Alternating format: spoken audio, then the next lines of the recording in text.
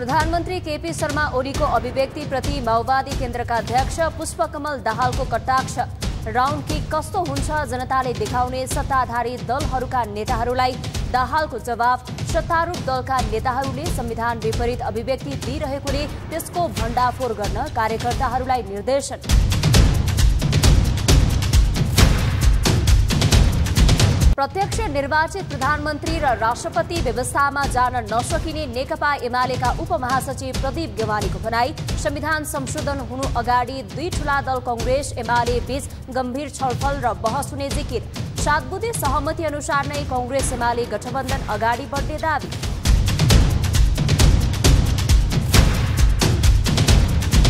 नेकपा माओवादी केन्द्रका अध्यक्ष पुष्पकमल दाहालको असंसदीय र अराजनीतिक अभिव्यक्तिले तनाव सिर्जना गरेको एमालेका महासचिव शङ्कर पोखरेलको आरोप।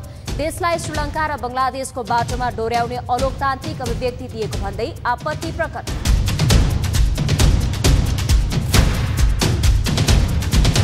पीडित केन्द्रित भएर संक्रमणकालीन न्याय दिलाउन द्वन्द पीडित माग। संक्रमणकालीन न्याय सम्बन्धी आयोगमा पदाधिकारी नियुक्ति राजनैतिक आधारमा गर्न नहुनेमा जोड सरकारबाट घोषणा गरिएको बाँकी राहत रकम निकासाका लागि आग्रह।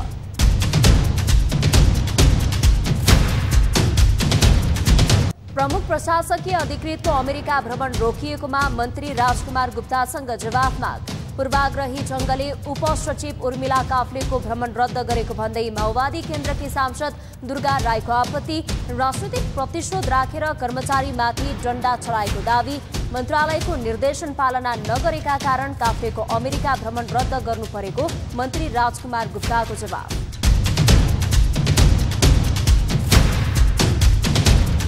सबै जिल्लामा डेङ्गी फैलिएको स्वास्थ्य मन्त्रीको भनाई। नियन्त्रणको प्रयास भइरहेको दावी सरकारी अस्पतालको सेवा सुविधा विस्तार गर्ने प्रतिबद्धता व्यक्त।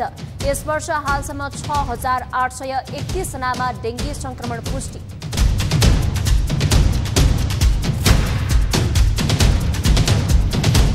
नेपाल सरकारको सबै शर्त मान्न टिकटक तयार। टिकटक माफीको प्रतिबन्ध हट्दै एक दुई दिनभित्रै दूरसञ्चार प्राधिकरणलाई टिकटकको प्रतिबन्ध हटाउन निर्देशन दिने सरकारको तयारी।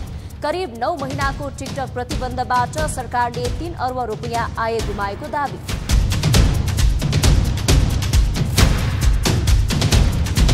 वीरगंज भन्सार नाकाबाट चालु आर्थिक वर्ष दुई हजार एकासी बयासीको पहिलो महिनामा मोटरसाइकल आयात दोब्बरले बढ्यो। चालु आर्थिक वर्षको साउनमा सात हजार एक सय पचासवटा मोटरसाइकल आयात दसैँ आउन लागेको हुनाले साउन महिनामा मोटरसाइकलको आयातमा वृद्धि भएको हुन सक्ने अनुमान।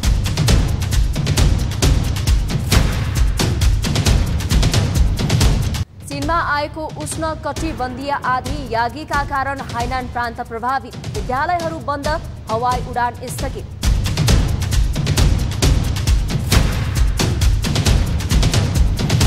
एन्फा महिला लिग फुटबलमा कोशी प्रदेशको लगातार दोस्रो जित। बागमती युथ क्लब दुई एक गोल अन्तरले पराजित। लगातार दुई जितपछि छ अङ्क जोडेर कोशी शीर्ष स्थानमा।